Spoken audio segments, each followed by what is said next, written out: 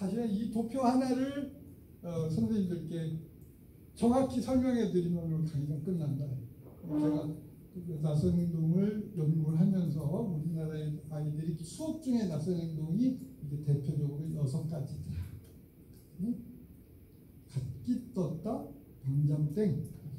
같이 읽어보실까요? 시작. 기 떴다, 방잠땡.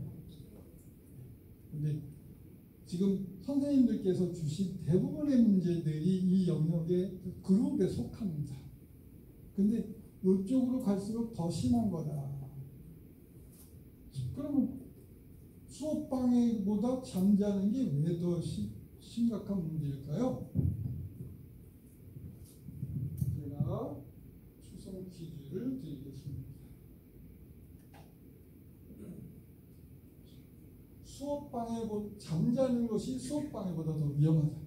거꾸로 말해서 수업 방해 교실에 학교에 나와서 수업 방해를 하는 것에도 장점이 있다. 뭘까요? 초성 퀴즈예요. 먼저 맞추신 분께 안경 드립니다. 이거 하지 않는다. 맞습니다. 여기 누가 말씀하셨는데?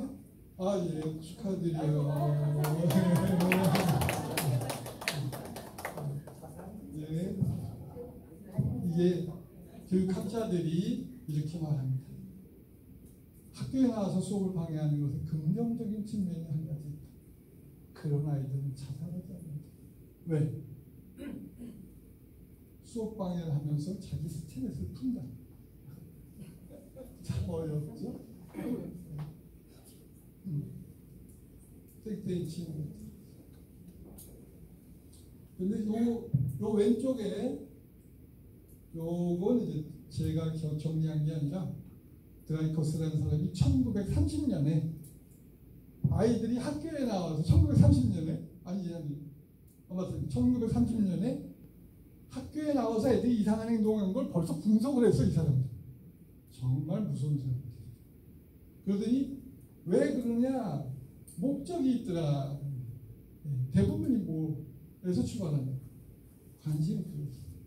그런데 이분의 말 논리가 굉장히 탁월합니다. 아이가 관심 끌기에 실패했을 때 센 척한다.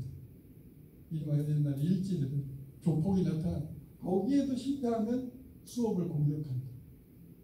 그러나 거기 그럼에도 불구하고 관심 끌기에 실패하면 애들이 현실로부터 뭐 한다?